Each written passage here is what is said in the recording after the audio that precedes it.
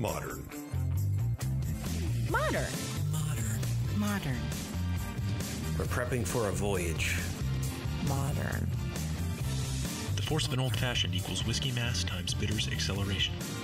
Why don't you make that a double? Modern Bar Cart. What's shaking, cocktail fans? Welcome back to another episode of the Modern Bar Cart podcast. I'm your host, Eric Kozlik, and thanks for joining us for another really special interview episode.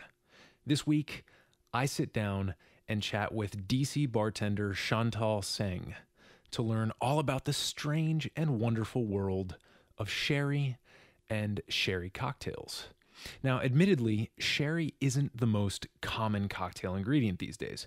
It's a member of the fortified wine family, right alongside vermouths, ports, and madeiras. And I mean, really, the most popular references to this beverage are on reruns of Frasier when Kelsey Grammer periodically turns to David Hyde Pierce and offers him a small glass of sherry, saying, Sherry Niles. And I, that's really, you know, where we come across it most is on those reruns. But beyond knowing it's some sort of alcoholic drink, most of us don't really know a thing about sherry. And that is precisely what we'll set out to correct in this episode. But first, I think it's time for you to make yourself a drink. This week's featured cocktail is the bamboo cocktail. And this is a drink that we will definitely talk about at length later on in the episode. Now, if you recall our vermouth interview with Kat Hamidi of Capitoline Vermouth, we spoke about one of her very favorite cocktails, which is the Adonis, which is also a drink that contains both vermouth and sherry. The difference between the Adonis and the bamboo is basically the difference between a Manhattan and a martini. And what I mean by this is that Manhattans tend to be dark, rich, and sweet, while martinis tend to be dry and refreshing, even though both drinks tend to follow a pretty similar measurement paradigm when it comes to ingredient ratios. So let's look at how to make the bamboo cocktail. To make this drink, you're going to need an ounce and a half of Fino sherry, which is a type of dry sherry that we'll kind of explain later on in the episode. You also need an ounce and a half of dry vermouth and several dashes of orange bitters. And this recipe comes to us from punch.com. So, to prepare the drink, you combine these ingredients in a mixing glass with ice. You stir until it's well mixed and chilled. Strain it into a stemmed cocktail glass, either a coupe or one of those traditional Art Deco V shaped martini glasses, and then you garnish with a nice orange twist.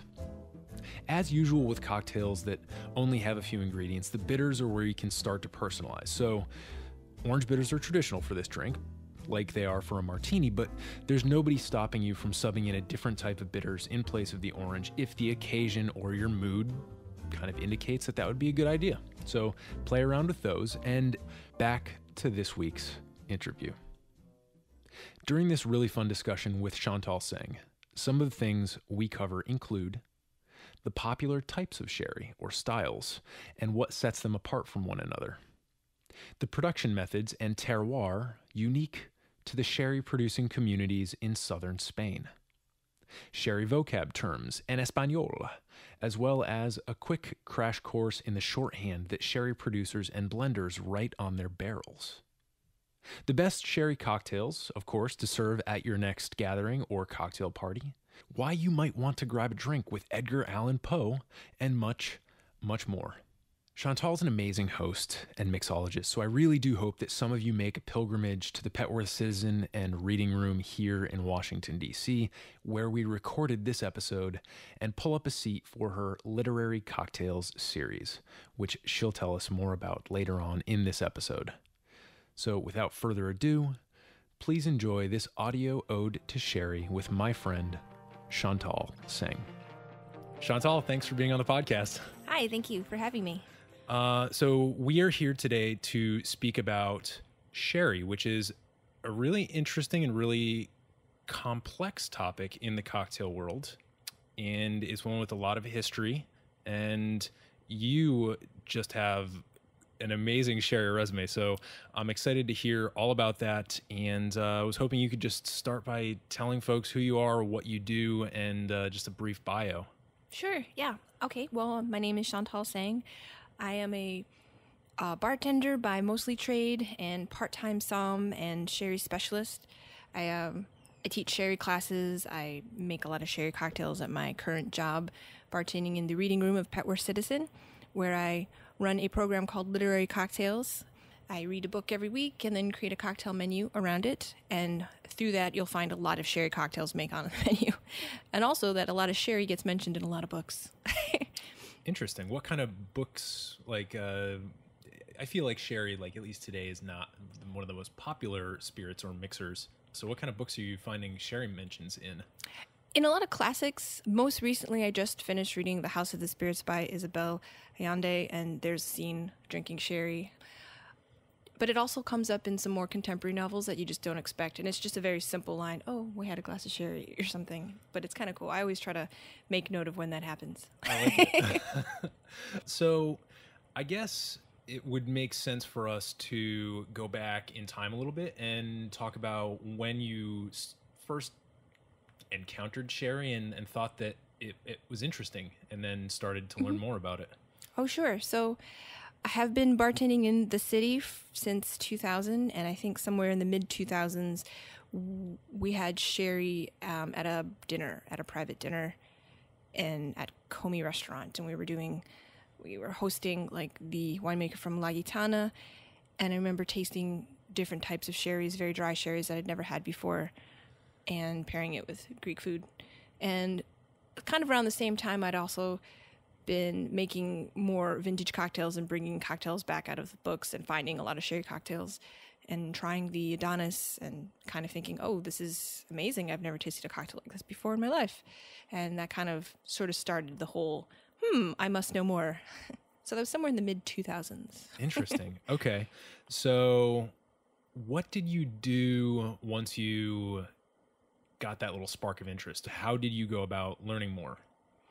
Oh, okay. Um, well, through I was also in a tasting group, um, studying for my my SOM degree, if you will. Through became eventually becoming a certified sommelier. So there are classes and like specialty uh, lectures, and there's tastings and people that come in town. And when you're in part of the industry, the wine world, you know, you're always up on to speed of who is in town or who's lecturing in this or what to taste.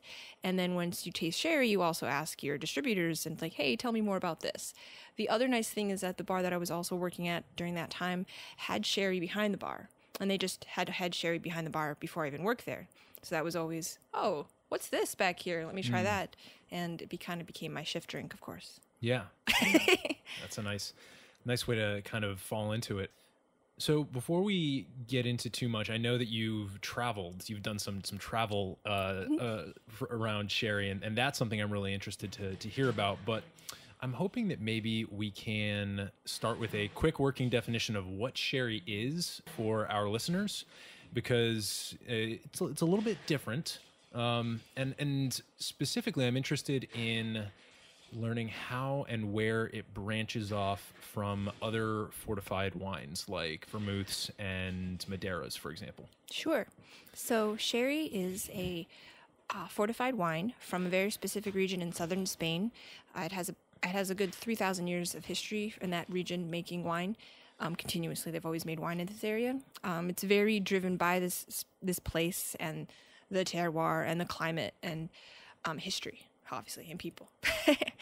Um, so there's a large range of the different types of sherry. Um, typically, well, as of today, in the modern version of sherry, which started in the 1800s when the Solera system was developed, you can span from a very, very dry, light, around 15% wine, to a very rich and viscous, um, sweet dessert wine.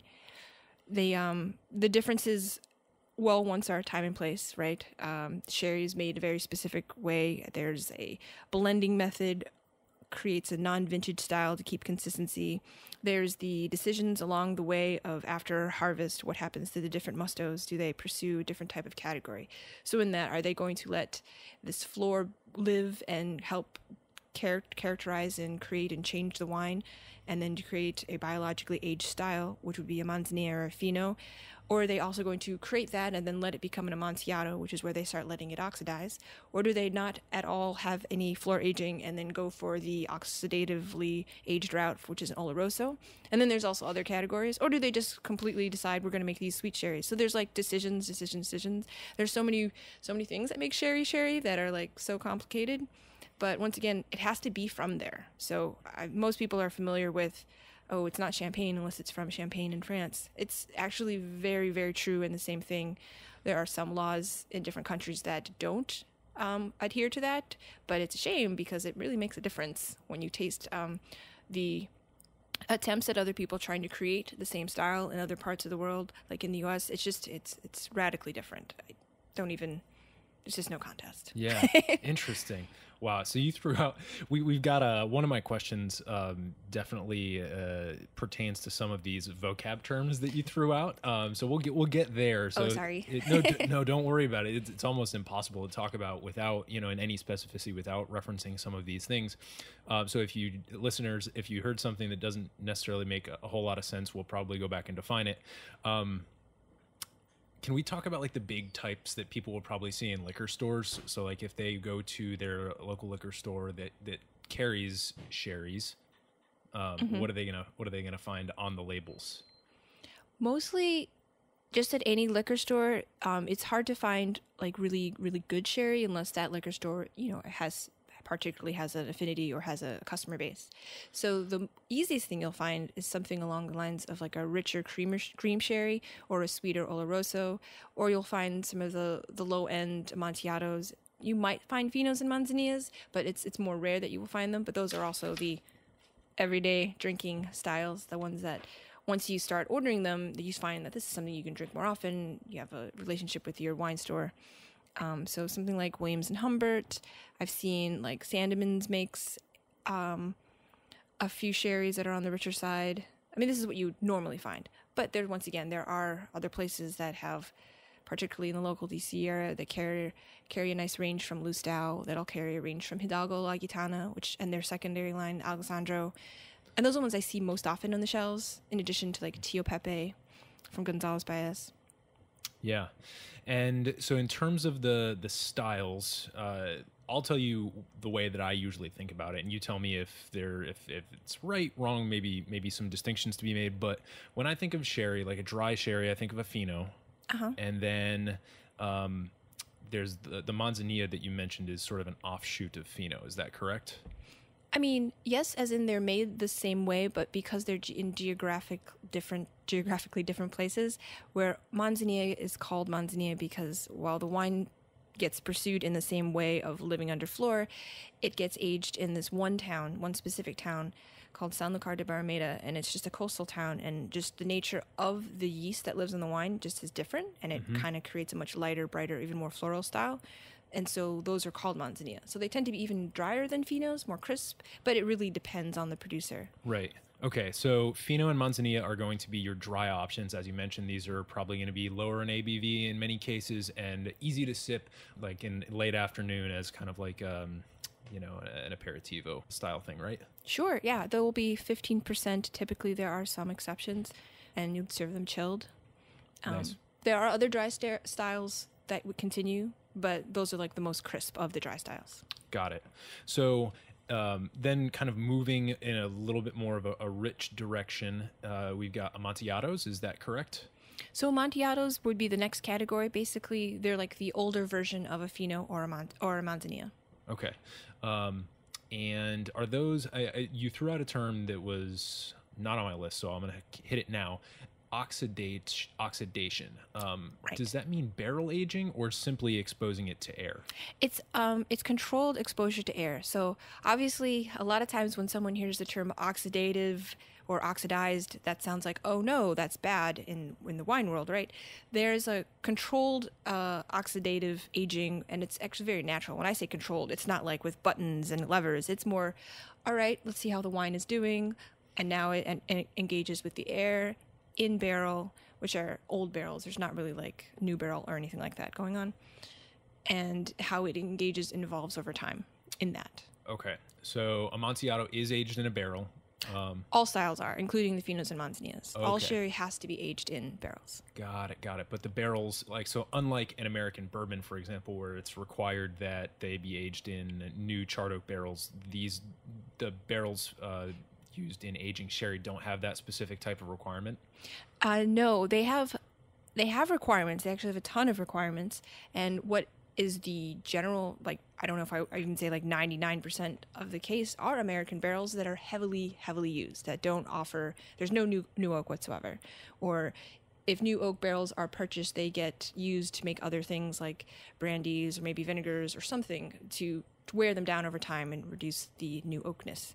Okay, yeah, that does that that does sound rather uh, rather strict um, in it, in its own way, and it's kind of like the opposite way of only being able to use you uh, a single use you know charred oak. That's that's interesting. And, then at the very end, maybe not at the very end, but then going in an even richer direction after um, Amontillado, you have Oloroso. Right? You have Olorosos and also Palo Cortados. Okay, uh, and what's the difference between those? it's um it's a it's a very special way that the Consejo Regulador describes the difference because a Palo Cortado by technical definition is a little bit more vague rather than the definition they give for an Amontillado or an Oloroso. But a Palo Cortado is supposed to have the aromatic or nose character of an Amontillado, but the richness of an Oloroso. So it's a very vague definition, but essentially what it means is that while the Amontillado is an older Fino Manzanilla, it's lived under flor for what average time, um, at least three to five years, and oftentimes longer. The Palo Cortado sometimes also has that, and sometimes it doesn't. The Oloroso doesn't have any flor aging, but a Palo Cortado usually, in this day and age, for it to be consistently created, gets made from. This is another technical fun side to sherry. When you're making decisions about how to pursue which style, there are these different mustos. Like they'll taste and the first harvest, and they'll taste and smell the grape juice, and they'll go, "Oh, this one's really fragrant," and that usually gets made into a Fino Manzanilla. Or they'll go, "This is fragrant, and we're going to pursue a Palo Cortado with this eventually," because they know they're using the extra fragrant must. Interesting. Yeah, let's um dig in for a second to the actual juice that's used to, to make sherry. Um, is there a particular type of grape that's used? Yes, for all dry sherries, the grape is called Palomino Fino. Um, and Palomino is the typical, what you would just say, Palomino. And it is a white grape, so all sherries are made from white grapes. There are two other grapes that get used for the dessert styles, which are Muscatel and Pedro Jimenez, or PX for short. Okay, interesting. And you mentioned this term, the musto or the musto. Oh, yeah. yeah. Uh, what what is is that? Does that just mean the pressed uh, non-alcoholic grape juice? It, uh, so in sherry country, it means both like that, and it also means after the fermentation, it's still considered musto. So they use the term for both stages. It's different. Some they don't use do that in other wine regions necessarily, and some of them do. Interesting, really interesting. Okay, uh, and is there any anything special about you know the way that these grapes are grown? Uh, the thing that comes to mind for me is you know different uh, wine regions around the world have different practices concerning like the way that they treat the the vines themselves um, and and I know that you mentioned terroir earlier so I was wondering if there's anything either on the human side of things or perhaps on the land the terroir side of things that really ends up affecting the end product Oh, yes. So, on the land side of things, what's really fascinating about this particular area in southern Spain, which I should mention is composed of three main towns Jerez de la Frontera, where the name Sherry comes from, Jerez is Sherry. El Puerto de Santa Maria, it's a port town, and then San Lucar de Barrameda, which is the coastal town. They kind of creates this triangle. And in this region, there's all these subregions for where the grapes get grown. In those towns, that's where the sherry has to be aged, but in the vineyards are all around. And the land of those vineyards are very, very uh, composed. I'm sorry, there's a lot of chalk in the soil, right? So, in other wine regions, going if you think about Chablis and their Kimmeridgian soils, which are full of limestone and chalk, there's this continental shelf that is part that like starts up in like Dover and like London, uh-huh. and that goes through Chablis and Kimmeridgian, and it actually ends down in the south of Spain. And so there's all this amazing chalk limestone soil right there, and it's the same. I shouldn't say same because it's soil is different everywhere you go. Terroir is different everywhere you go, mm-hmm. but it's that soil that is in this region, which is why the grapes do really well, and that's a huge, a huge marker for the land. Yeah. Um, and then for people, there there are different things that they do. They have um, in the vines, in the vineyards themselves, they're not allowed to irrigate. So you are in southern Spain, which is pretty hot and sunny. You know, they don't have a lot of rainfall except mostly in the rainy season, which is you know in the winter and then early spring, and then in summer it gets really dry. So what's nice about that soil is that the way it cakes is that when it does rain and the rain just goes into the soil and goes down deep, then when the sun comes out, it kind of cakes the top. So it kind of locks the like creates its own natural wells of water, but they're really far down, and that encourages the vines to go very deep to get to the water, which makes them stronger, and therefore the rule is that they make better grapes. Yes, yes. This is something that, that people in Bordeaux are very, uh, you know, very, very proud of. Or when you know when they talk about their their left bank cabs, you know, the gravelly the gravelly soil forces the roots to go deep. So Yes. that's that's really cool. I did not know that uh, little geological deposit that ran, that runs from Dover to um, to the, the southern part of Spain. Uh, Yeah, it's called Albariza. Alberita, Albariza is the soil with all the chalk in it. Nice. there's a, a blend and there's different albarizas in different areas right and there's all a little bit of a blend of that and then the two other soils are called arenas and barros and they're like different sandy clay this and that and it just i know one winemaker down there is really into the soil samples so i have to give him a shout out and say that that exists Nice. What's his name? oh i think uh, ramiro ibanez Nice. and then for me I, I don't actually speak spanish so i'm sure I, I butchered pronunciations all the time Well, shout out, shout out to him. it's it's official. Uh, you're on the Modern Bar Cart podcast. Okay, so we've talked kind of production methods. We've talked uh, a little bit about the the differences in the the flavors between them, and I was hoping we could uh, use some of the terms uh, and maybe talk about some of your experiences that you've had down there because some of these these um, these definitions here I've, I've actually I, I picked them after after seeing some some pictures that you posted after after some of your trips. Oh, so, nice. um, okay, uh, term number one. We've mentioned it before. Solera.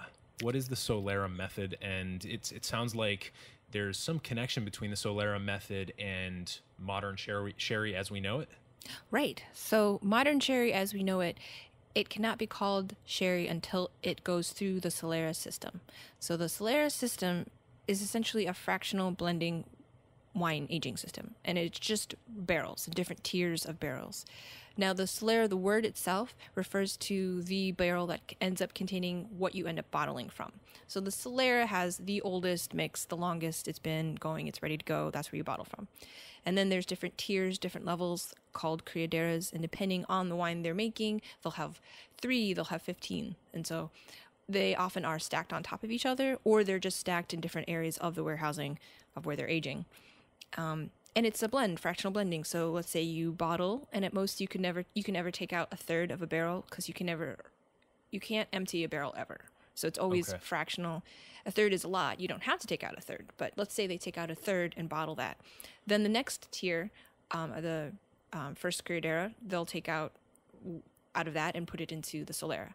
And then from that, they'll take the second Criadera, add it to the first, the third to the second, the fourth, what you know, and so on and so on. Okay. And so it rotates. And so wine is constantly being blended non-vintage. Before before entering, it's called the Sobretabla, and that's basically wine from the harvest of the year Okay. that they figured out where it's going, and then to which the system, this is the Fino Solera for Valdespino's Inocente, right? So then they designate what goes, that Sobretabla, which goes there, and they have a whole system, and everything's recorded, and it's very organized. Yeah, well, that's- yeah. I imagine you would have to be very organized to be able to track all of that. Um, interesting question. Uh, do they write an, anything on the barrels to indicate what's what's going on? Because I I've, I've seen you know obviously facilities here in DC, other where other places where spirits are aging, you always see stuff written on the barrels, but in a Solera system, I imagine that gets real crazy. Uh, I mean, they they do. They always because so the person who is going around making sure each barrel is like good to go because every now and then they're tasting, um, tasting under the flor wines, on the non-flor wines, and going, all right, where is this at? Is this good to be blended? If not, they'll have like some kind of code with chalk. And they'll be, you know, maybe it's an X for a reason. Maybe it's a, a letter that means something, or maybe there's um, they'll say with there's like an at symbol that require that gives you a certain volume of how much they took out. They'll be like, oh, three at, and that'll mean a certain thing. or it, it kind of changes, but I, I'm forgetting right now because I'm not super remembering what that exact amount roughly is, and I forget the name for it. But or they'll also just designate, oh, okay, we tried this. This is becoming a palo cortado, and they'll take the symbol that is there and they'll stick a cross on it, right? And it'll be like a stick is a fino, a circle is an oloroso. So they have tons, tons of pictograms and languages, and they are unique to each bodega too. Some of them, ah. some of them have a lot in common, like the the stick means fino, and the zero or the O, not zero, means oloroso, and then the cut stick means palo cortado. Those are pretty common, and those have gone forever. But then there's a whole bunch of other stuff. That's so. There's like this fascinating visual vernacular that is oh, that's that that's awesome. I'm I I never knew, and I just kind of suspected based on the way that you explained the Solera that there was something going on where these people are communicating with each other. That's really fascinating. I I would love to stick on that, but I'll get way too into the weeds on it. So let's let's move on to another term here. Um, you've been mentioning flor a lot, um, and this is an important kind of quasi uh, terroir thing in that it, it relates to living things that affect the wine. Um, so, can you tell us what flor is? F L O R. Yes, so flora, which translates to flower, is the localized um, assortment of these yeasts that live on your wine. So flora is a it very naturally occurs in in the wines that are of a certain alcoholic degree, and what they do is these yeasts kind of coat the finos and the manzanillas and protect it from oxygen. So you'll notice that when you have a fino or a manzanilla, it looks nice, like a yel- yellow or pale gold, looks like a white wine because it mm-hmm. is white wine. All sherry is white wine. Right. But because it's not oxidized, it actually retains that same cue. So flora is this living yeast feeding off of the sugar um, and then adding in the process other aromatics and other types of characteristics. Now, the flor will be a breakup of different Saccharomyces yeasts, um, depending where you are. I had mentioned earlier in the town of San Lucar de Barrameda, the flor blend is a little different, and it's very strong there because they love that sea wind. Um, and it changes the character, but overall, it, what it does is it makes a very, very dry wine with a lot of extra character, with a lot of aromatic, volatile compounds, and the personality of Finos and manzanillas. Uh, let's see. Yeah, I think that answers the question. Yeah, yeah, absolutely. so it's just kind of floating on top in the Like a ferment- blanket. Yeah. Okay. and is this in a in a like a wood vat, like a large wooden vat? It's in casks. So botas is what they are called. Sherry Okay. botas. They're um, casks. Okay. so you like 500, 600 liters.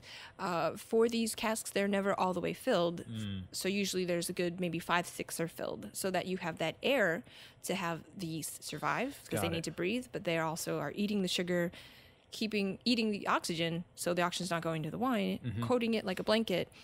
And however, and then those go through cycles. You know, they have essentially they have kids, grandkids, great grandkids, and then eventually they die off. And then when they die off, it's kind of like this understanding that needs to be, oh, it's ready for bottling.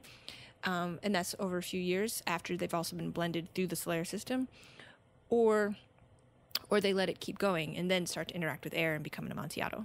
Interesting. Okay, so when a sherry producer or a blender wants to taste a Fino or a Manzanilla that does have the flor on it, do they have to like break through? Is it like a crust? I don't even know.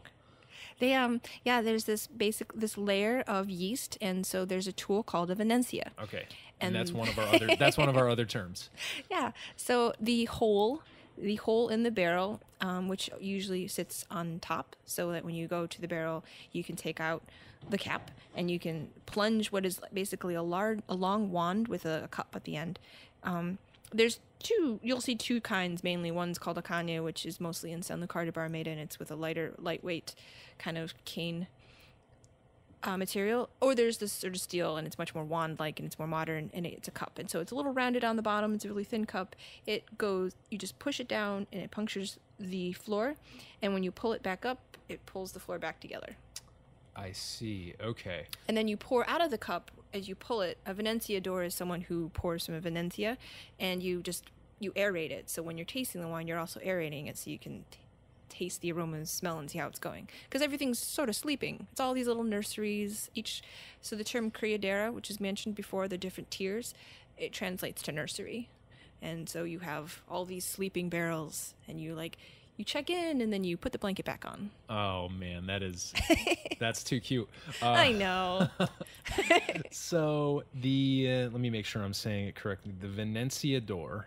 Uh, this is one of those pictures or videos that I saw a while back on, on that you posted on social media that I really enjoyed because there's a bit of theatrics to this, is there not? oh yes, it is its own art form. It's fun. It's Yeah. because you could make a mess easily, and therefore it's fun when you learn how to pour it. You, pra- it's good to practice with water and other other non, you know, dirty liquids. Right.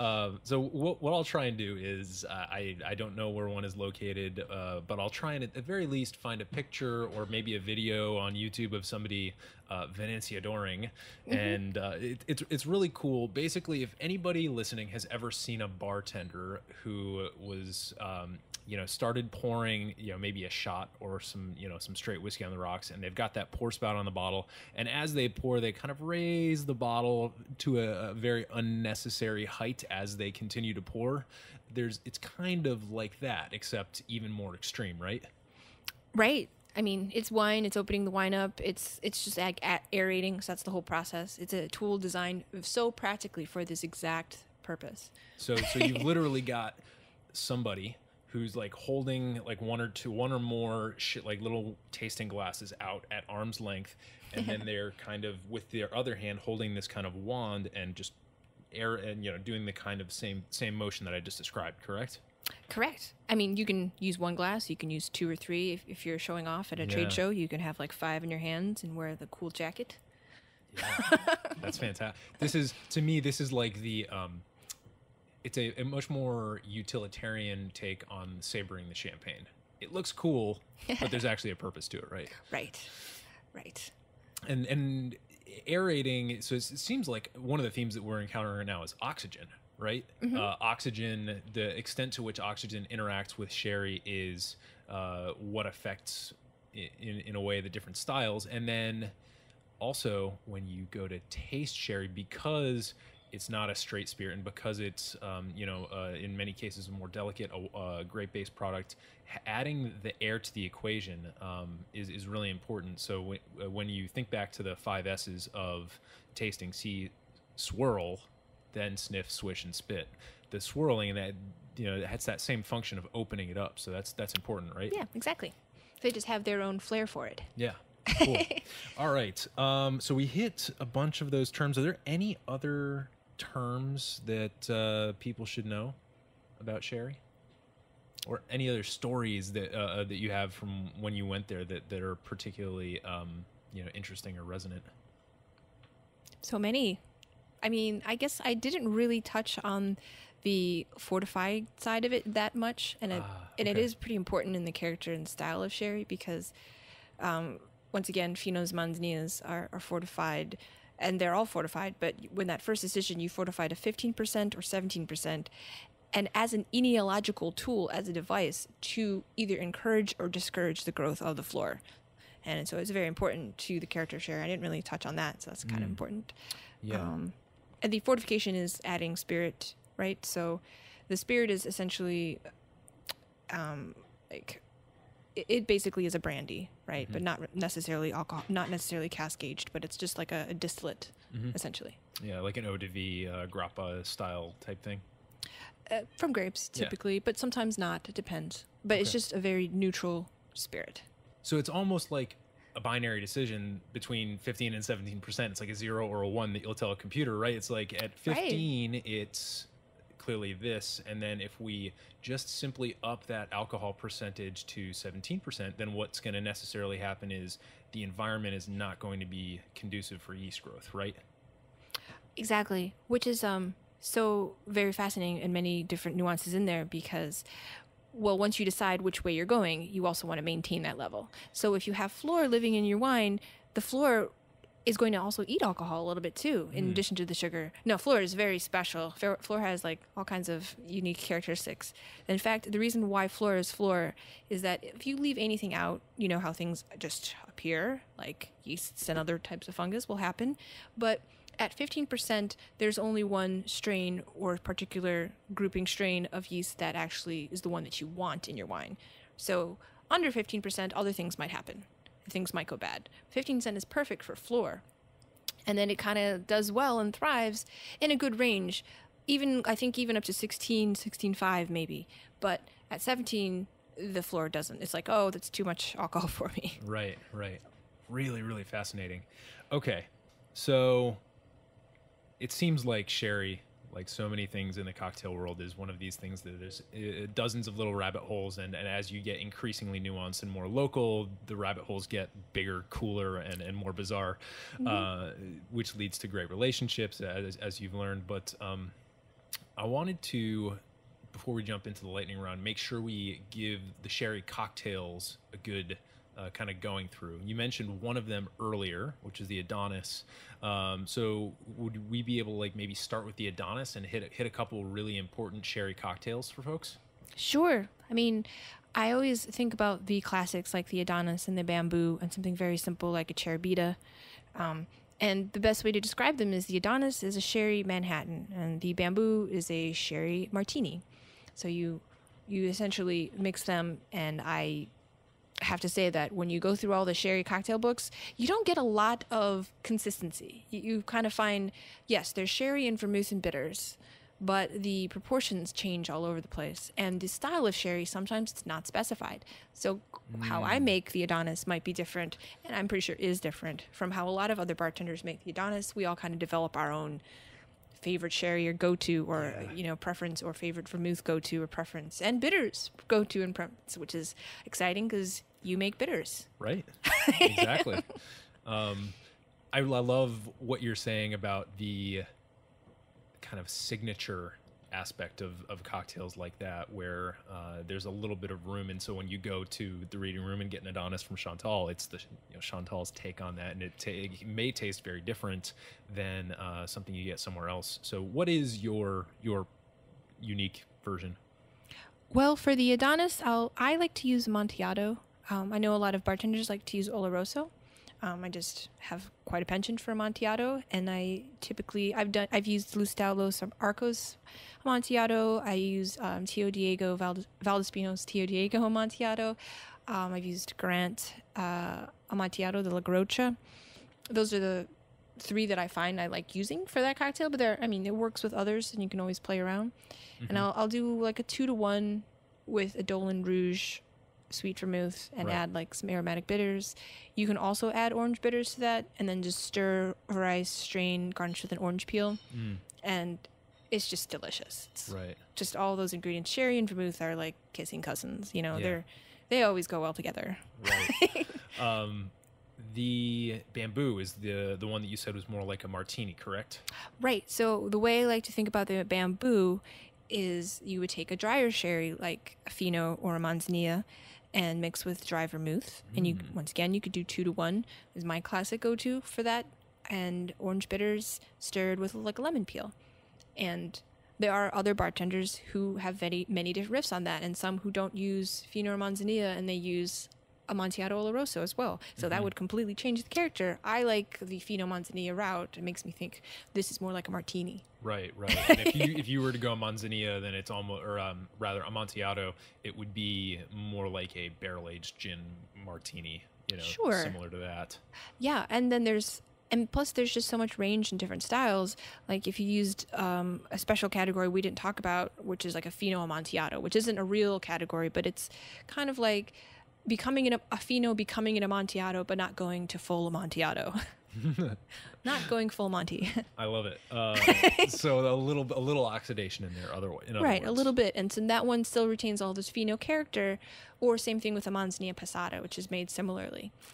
Then you have a little bit more of that kind of nuttiness going on, but it still doesn't go full oxidized. And so that's interesting too. Other bartenders will also rinse. They'll like rinse the glass with Oloroso, but make it with Fino. Ooh. You know, things like fun things. Yeah, that's cool. I like that. I like the glass rinse when it comes to richer things. You know, usually we very you know, we, we usually hear the glass rinse of when it comes to like a very dry martini or an absinthe based cocktail, like a Sazerac. Right. But I like it with, uh, I, I, have really haven't experimented doing it with something that's maybe a little richer and sweeter, like an Oloroso. Cool little, cool little trick to try out at home. Um, I hear oftentimes in the classic cocktail canon about a cocktail called the sherry cobbler. Yay! I was just going to mention that. Nice. Can you please explain that? Because I a lot of the cocktails and stories from Imbibe that David Wondrich so wonderfully puts out there in the world are you know very vivid in my mind and i know that the sherry cobbler is in there i just i can't remember it so can you refresh my and our collective memory Sure. So the term cobbler, it's kind of like a category in itself, right? So something is like a julep, is a cobbler, is a, a toddy, is a sling, is a it's a style. It's a, or a cup, a cooling cup. right Um, so for a sherry cobbler, it just means uh, a sherry that's sweetened, or maybe it's just a sweet sherry. You could also sweeten it with um, sugar or honey or other sweeteners, and then served over crushed or cracked ice. Usually, crushed ice works similar, like you would imagine a julep, and also served with like fresh fruits. So you would have like fresh fruits, maybe mint and herbs. I I like definitely the mint in there, um, and then whatever's in season. So if it's in the fall, I've I've pulled out like persimmons. I've pulled out other types of sweeteners, and even involve a little maple. If in the spring, you know, lots of berries, strawberries are going are perfect right now. They're Sure. so delicious. So it's, it's just so classic, and you and you drink it with a straw, ideally a biodegradable straw or a Yeah. steel straw. yeah, exactly. um, well, that's that's a, that's an interesting drink, and I, I love. Um, I think one of the things that I've been doing more and more often is going back and doing a little bit of historical reading on some of those proto cocktails like toddies, slings, cobblers. I think once you've gotten down like the main cocktails, like the old fashioned Manhattan martini, and you're starting to branch out into more of those complex cocktails that came about in the golden age of cocktails as opposed to right at the very beginning it's also kind of cool to like flip on the other side of the timeline to just before cocktails really came about and you can learn a lot that way i think. Yeah, How, what a fun time period to imagine. right. It's such a weird time in history uh, especially in america. There's a lot of stuff going on and not, not all of it was great but uh, you know the, the stories are really good. So um, is there any other sherry related facts or points of interest that you might want to mention before we jump into the lightning round I'm sure. I just I, I don't know. I'm better when you ask me questions. well, so what I will say is, I I know that we have a s- substantial uh, listening audience that is not located in DC and is, you know, even international. So I don't really have a, a ton of advice, but we do have a, a, another substantial group of people who are listening here in the DC area, and I I know that when I look for sherry, I go to a place called Schneider's of Capitol Hill. They are an excellent liquor store. They're very helpful. They're well staffed, and the people who are there know what they're talking about. Um, so uh, that is one recommendation I have. Is there any? You don't have to make any recommendations because I understand that you're in the industry and this could perhaps have you know ramifications. But um, any any that you want to mention that you know might be at other parts of the city? yeah, well, you can always go to Grand Cata in Shaw. They they're um, these two guys opened their wine store a little over a year ago, and they always have sherry. Typically, like I think La Gitana and Alexandro, they have there. I know they always seem to have sherry at Batch 13 on 14th Street. Typically, the Alexandro line again. Um, so I mean, as many places I can think of, I would share. Just those are the two that I think of right now. yeah, those are great. And then Grand, Grand Cata is a, is a great liquor store. I- I've, I've been in there. Um, those guys are and they're really really uh, fun fun people, and they, they they'll talk you up. So, um, great. Let's jump into the lightning round. Okay. All right. First question is, uh, what is your favorite cocktail of all time? And if you don't have a favorite of all time, because that's a tough thing to do, uh, what's something that you've been more obsessed with recently? Okay, that is a tough question. I would say that it kind of revolves around these these aromatically stirred types of drinks, which include a, a dry martini, which include something called a trinity or a jungle, and those are equal parts gin, vermouth, and sherry. Um, and that I have, I return to those all the time, and they're all you know cousins of the martini and the Negroni essentially. Interesting. Yeah. Yeah. I, I, I, I too find myself, you know, in those, you know, messing around with a ratio. Uh, my favorite is like the last word ratio, where it's a one to one to one to one, and there's got to be some acidity and there's got to be some funky herbal stuff in there too. But then there's still room to swap things out and kind of experiment. Great. If you were a cocktail tool or ingredient, what would you be and why? Okay. I'd like to think I would be the mixing glass because all sorts of different things go in, but it always comes out in a nice, lovely, different form that is always delicious. Okay. Interesting. you are you are the structure that uh, brings order to the chaos. Yes. I like to think that I there's more to just having one simple use and there's more variety. Yeah. Excellent. That's that's great. Uh, if you could have a cocktail with anyone in the world, past or present, who w- would that person be? Where would you go? What would you talk about? Just paint us uh, a picture. Also, a good question because several people came into my mind, mostly because I mentioned earlier my cocktail program is literary based. So I'll read a book and then I'll create a cocktail program based on the inspiration of that book. So I think about authors a lot after having read their book, go, huh, interesting. Maybe it would be a cool conversation to have. And so there's a few in my head that do include uh, people like Edgar Allan Poe because there's so much mystery surrounded by him, oh. but also more contemporary like J.K. Rowling because of course she seems really cool and down to earth, and who wouldn't want to have a cocktail with her?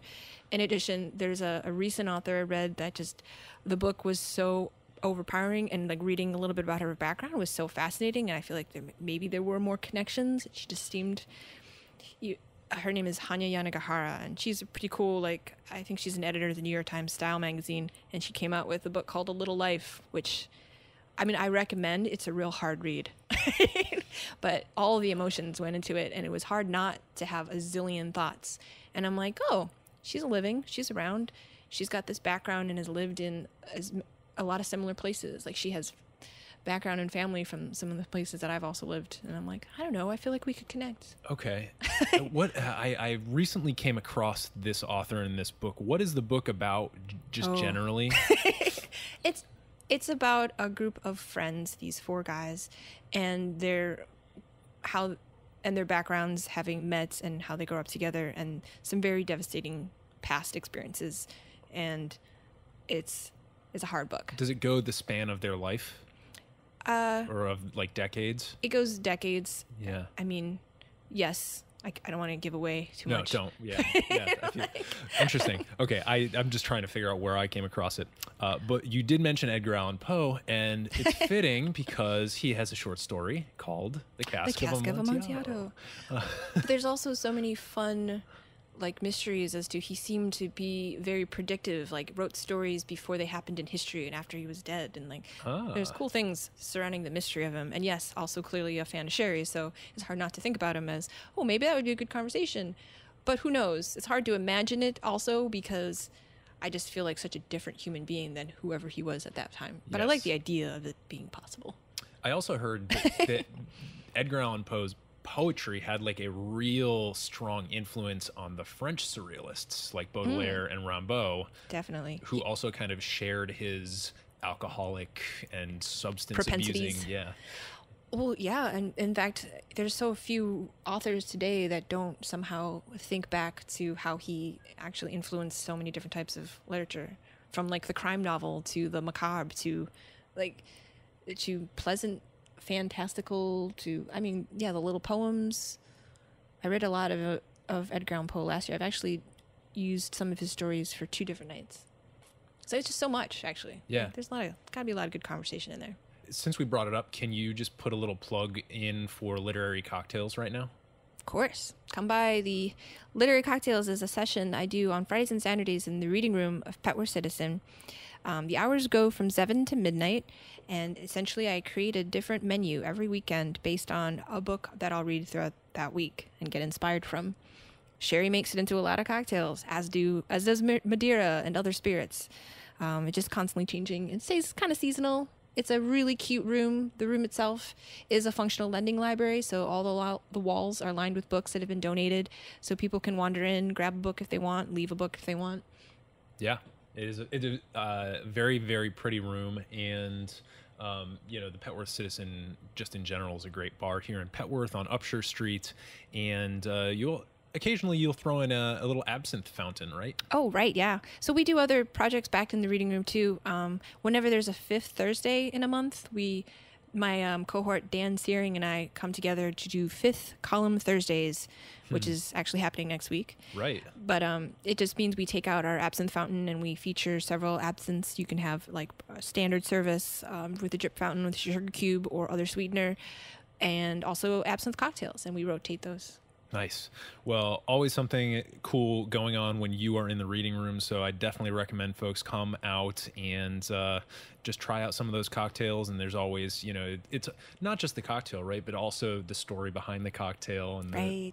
is- instead of it just being like a story of how this cocktail came, there's a literal written down in print story that influenced the cocktail. Yeah. So, all right, a couple of things, a couple pieces of advice, and then we'll, uh, let you get ready for service here. But um, I was wondering if there's any books about sherry uh, that are particularly influential um, that maybe uh, our listeners can check out if they're inspired by some of the things we're talking about. Oh, definitely. There's so many books. Um, the two that I find myself recommending the most are uh, one is a little more recent than the other. Uh, Talia Baiocchi's, I think it's like called Sherry: The Modern Guide to World, the Wine World's Best Kept Secret, and it's got great photos and it's super great as an introductory. You can read along. You can see her story and her passion, and it also comes with cocktails in addition to that. And then the more heady the more um, really great info book. It's called uh, Sherry Manzanilla and Montilla, and that's by Peter Liem and Jesus Barquín. And that's that's the one that you can really nerd out on, and they mm. give you so much good information. It is unfortunately harder to get, but yeah, those two are my my mainstays. Okay, we'll definitely link to those in the show notes. So if uh, you'd like to find some links to those, whether it's to an actual you know Amazon available book or if it's you know if if the other one's a little bit more difficult to uh, to find, we'll also try and find a place, even if that's eBay, where you can uh, maybe pick up a copy. Uh, so modernbarcart.com forward slash podcast and head on over to the interview show notes with uh, Chantal Tseng. And then last question here if you could give any piece of advice to somebody who's just starting to learn about or experiment with sherry or cocktails in general, I suppose, what piece of advice would you give? The advice would be to definitely ask me about which sherries to try to start off. I'm just kidding. No, I'm not. But um, food. food is always the best way to first encounter sherry. My first experience having had dry sherry was actually not a good one. I remember trying um, a very dry manzanilla, which, by the way, I happen to love today. It's my spirit drink, really. And kind of just going, I don't get this. It doesn't make any sense. It didn't work for my palate. And then it just over time evolved, and I realized, oh, I, I really get this and I love this. But I think the first experience oftentimes is kind of think of it all sherry is wine at the end of the day. And what goes so well when you're having wine? Snacks, olive, cheese, just other foods in general. What's nice about sherry is that it's extremely food pairing friendly. Mm. I mean, there's a reason why chefs cook with sherry because it goes well in Right. food. Right. yeah, and it's interesting. Like cooking sherry is actually like a derogative term, right?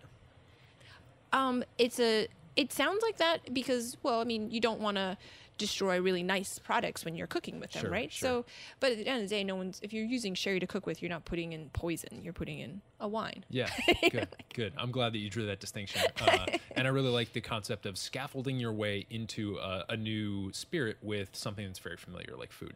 Yeah. Uh, well, Chantal, thank you so much for sharing your knowledge about sherry and uh, just your enthusiasm for it is really great. And it's definitely gotten me enthusiastic about it. But Yay. if people wanted to ask you uh, what Sherry's they should start out with, how can they get in contact um, via social or on the internet? Oh right, okay. I have uh I do have a pretty regular social media presence. My handle on Twitter and Instagram is Shinobi Paws, Okay. and um, you can always find um, updates for when I teach classes also through the reading room. So there's a Twitter handle at Reading Room DC, at Petworth Citizen, and then there's an Instagram just for at Petworth Citizen. Right. So we will link to those social media handles in the show notes. So hit those up, give them a, a little follow, and you too will be updated next time there is a fun literary cocktails night or uh, a fifth column third uh, 5th column Thursdays or Right. Yeah. There's also other wine nights and book clubs and fun things that go back on here. yes, and it's also located right next to the um, the wow why I, you mean across the street, or you mean? I I cannot believe I walked through this bookstore to get Oh, in Upshur here. Street Books. Street Books. Damn, wow, that was bad. Yeah, so we've got a real great uh, triumvirate. We have a bookstore, a lending library, and a public library down the street. Wow. Yeah. There's lots of books in, in, in this little square area. So, um, Chantal, Yes, thanks again. you're welcome. Happy to be here.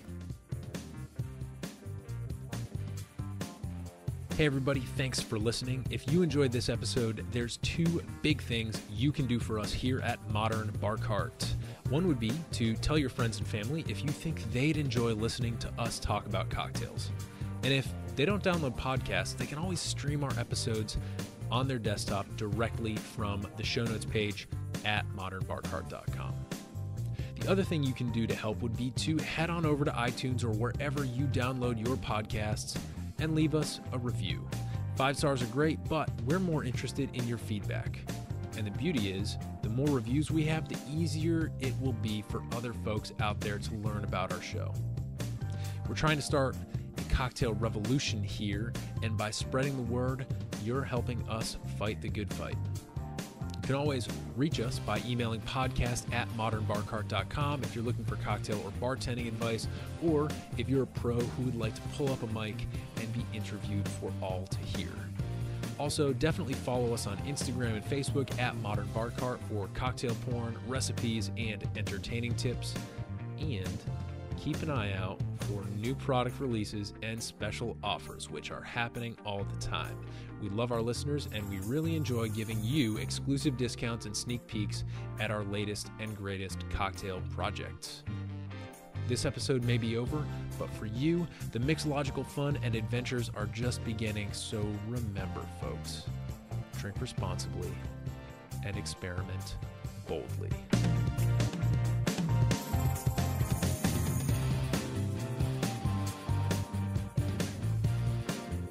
This episode was made possible with editing and production assistance by Samantha Reed, literary and sherry knowledge by Chantal Tseng, and a little bit of interview magic by yours truly. This has been a Modern Bar Cart production, copyright 2018.